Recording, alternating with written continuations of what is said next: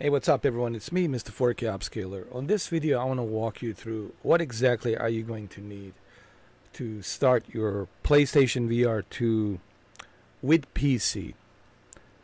And of course, obviously, you're going to need a PlayStation uh, VR 2 PC adapter known as uh, PSVR 2 adapter for PC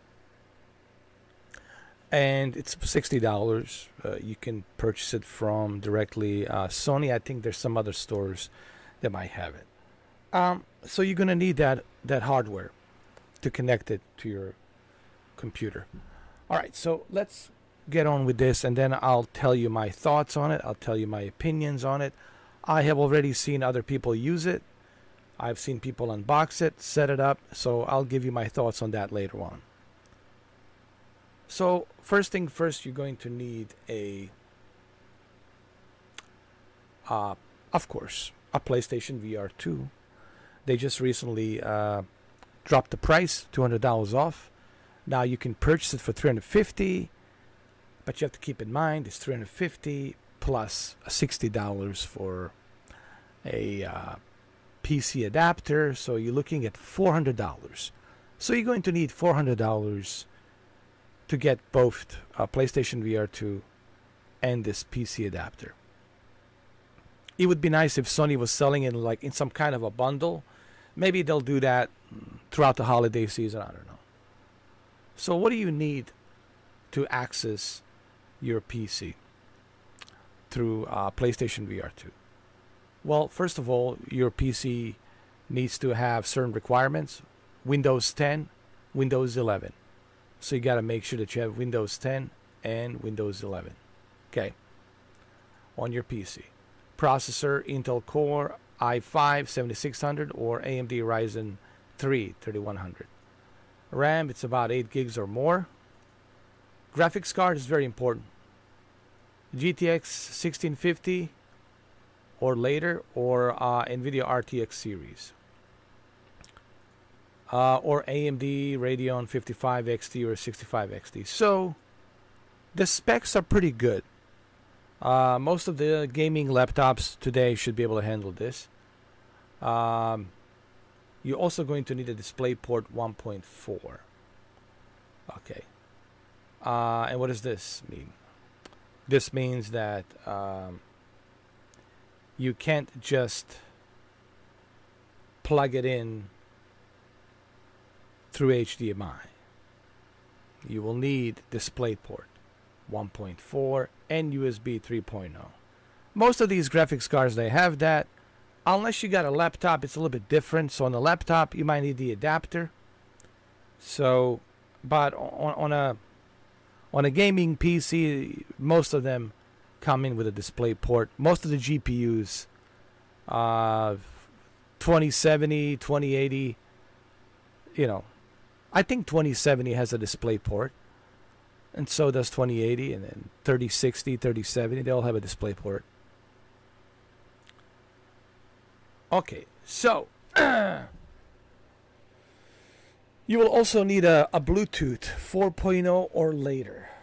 Why do you need a Bluetooth? Uh, it's beyond me. I guess you're gonna need a Bluetooth for for the headphones because you won't be able to use the the audio through through the headset. So you're gonna need a, but that's okay. I have, I have my uh, Turtle Beach, whatever. I'm fine.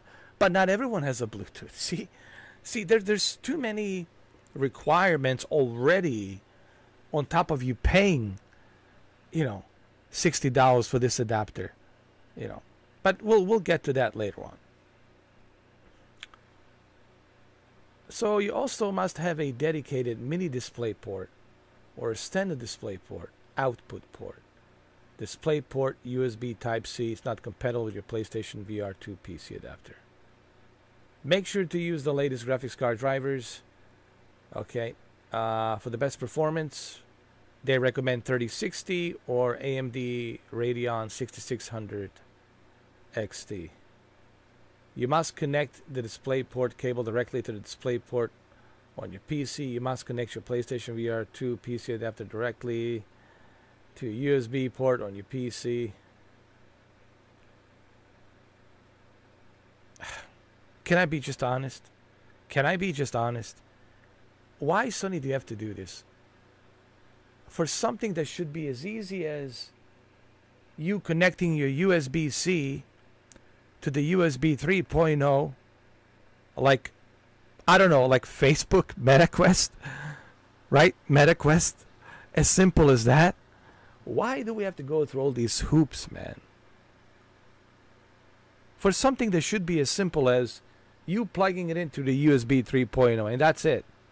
And let your GPU and CPU hardware take care of the rest. Ugh. And of course, you're gonna need, which which I already have mentioned, you're gonna need a, a PlayStation VR2 PC adapter. You're gonna need a DisplayPort 1.4 cable, also sold uh, separately. It doesn't even come with a DisplayPort cable, and I already talked about this. They couldn't even include a DisplayPort cable, man, on top of everything else. So, what apps are required to use a PlayStation VR2 and a PC? You're gonna need a Steam, of course. Download the Steam app, uh, and then Steam VR, which I already have, and then PlayStation VR2 app. Download this app free from the Steam store. So you got to go to Steam and download this app. And then you got to go through the process of signing up, you know, uh, registering your account, your your Sony PlayStation account with Steam, and then you have to link your Sony registration PlayStation account to the Steam, and then you're good to go.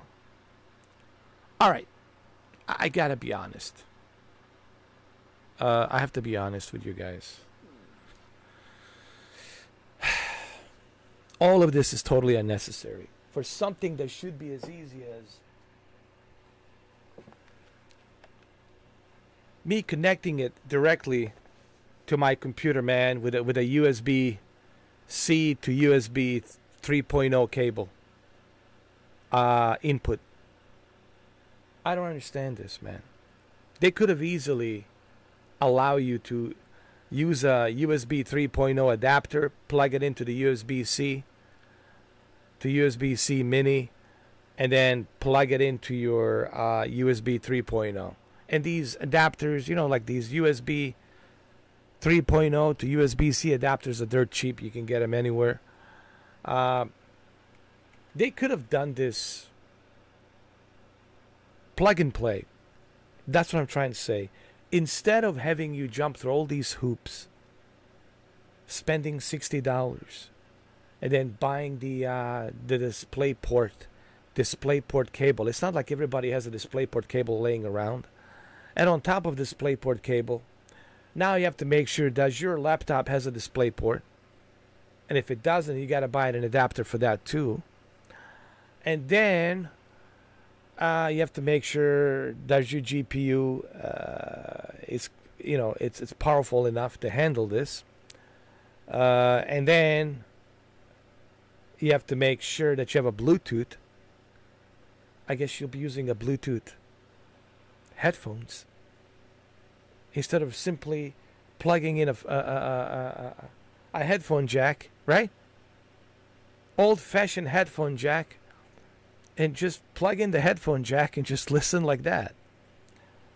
I, I listen. I have PlayStation VR 2, but man, I gotta be honest. It just seems like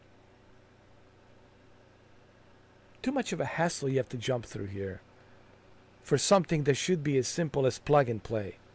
I talked about MetaQuest. Listen, I got my MetaQuest in December of last year, 2023, and I've been playing it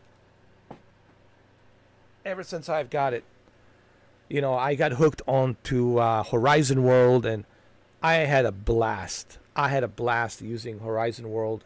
Met so many cool people on Horizon World. I love it. Been on there for four months.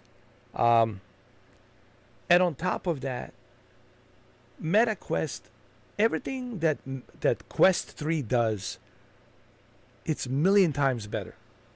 First of all, you don't need a computer to use it. It's a standalone device. Uh, number two, uh, you just plug in to your PC and you're good to go.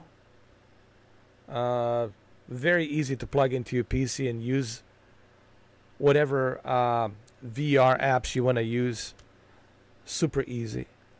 Uh, everything about Meta Quest 3, it's million times better. So here's my question. My question is this.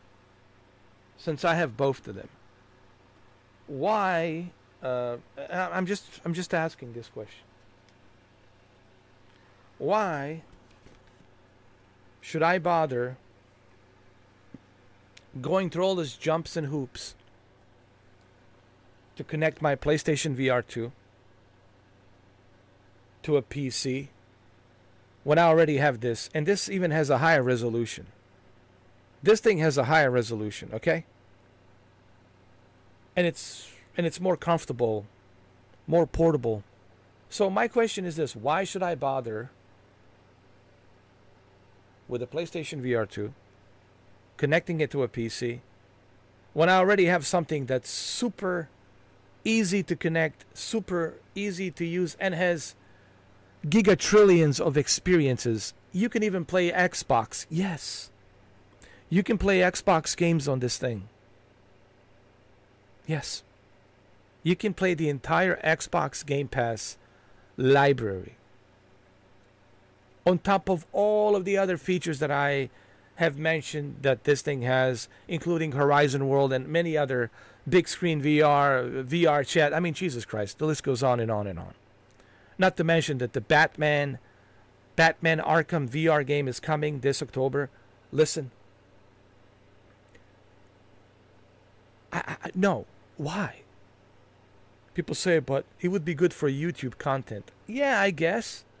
I, that would be the only reason honestly, for me to plug it into my iBuyPower PC, you know, that would be the only reason that I would do it.